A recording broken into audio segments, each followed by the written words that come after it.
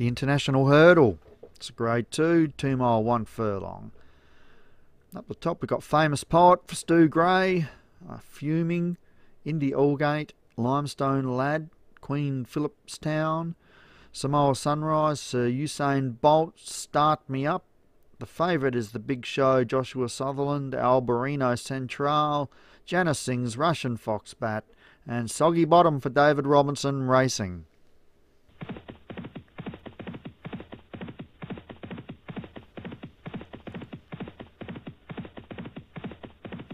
Nice start here in a drizzle. They come to the first flight. First of eight, and just clipping it there was Russian Foxbat at the tail.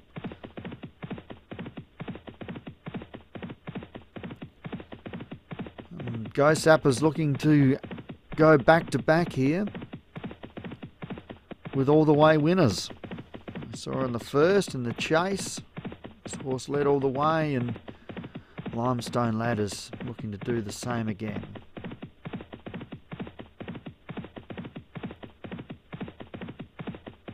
Jumped that one a little slow, the leader. Indy Allgate into second. Pushing up on the fence there is Start Me Up. Out wide a Soggy Bottom. Fuming. Sir Usain Bolt, Russian Foxbat. Samoa Sunrise, The Big Show. Alberino Central. And Queen Phillipstown.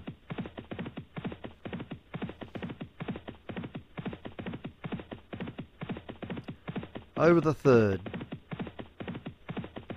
And Limestone Lad just cruising along from Start Me Up, Indy Allgate, Fuming, Soggy Bottom.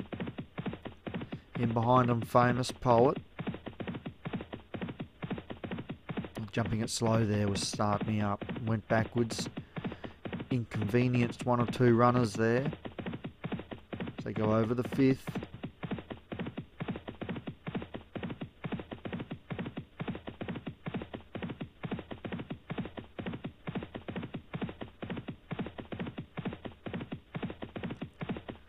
Mile left to run.